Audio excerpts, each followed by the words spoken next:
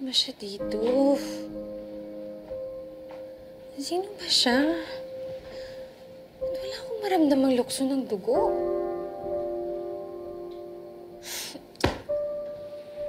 Ay, naku.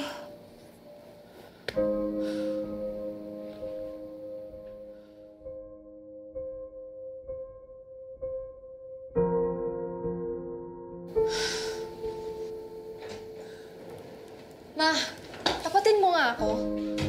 Si Menerista ba yung tatay ko? Ano ba yan, Jen? Huwag mo nga ako simulan. Ma, please, bigyan mo naman ako ng honest answer. Maging honest ka sa akin for once. Sino siya dito? Nasaan siya? Alin siya dito? Sino dito yung tatay ko? Ito ba? Ito? Ta tama na, Jen! Saan mo ba nakukuha tong kahibangan na to? Kaya ba ayaw mo sabihin sa akin dati kasi nahihiya kang malaman ko na pati si Menerista pinatulan mo? Yun ba yun, ma? Oo! Seminarista siya. At ngayon pari na. Masaya ka na, Jen? Masaya ka na?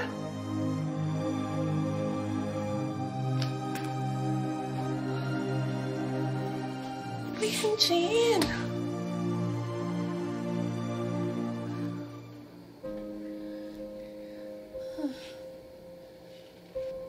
Nasa labas ng seminaryo ng si Ramon. Pinagdidesisyonan niya kung tutuloy niya ang pagpapare o hindi. Hanggang sa sinabi niya sa akin yung desisyon niya.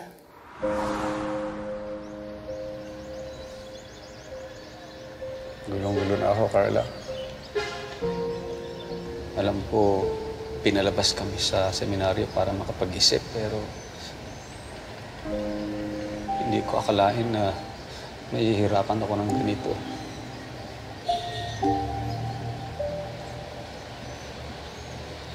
Dahil ba nakilala mo ko? Dahil mahal mo kita.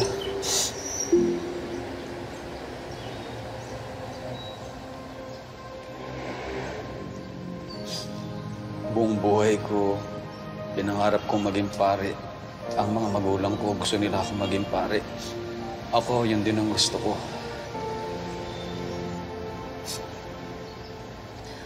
Mukha namang nakapag-desisyon ka na. Ramon, mahal rin kita.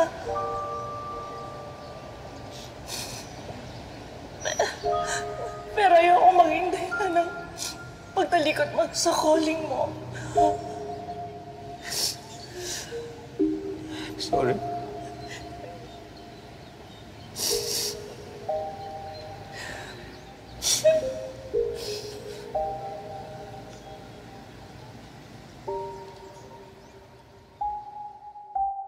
Pagkalipas ng dalawang buwan, doon ko nalaman buntis ako sa'yo.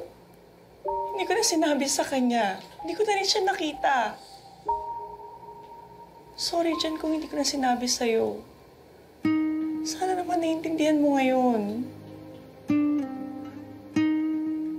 Nagdesisyon akong lumayo sa kanya at alam ko hanggang ngayon na tama yung desisyon ko na yun.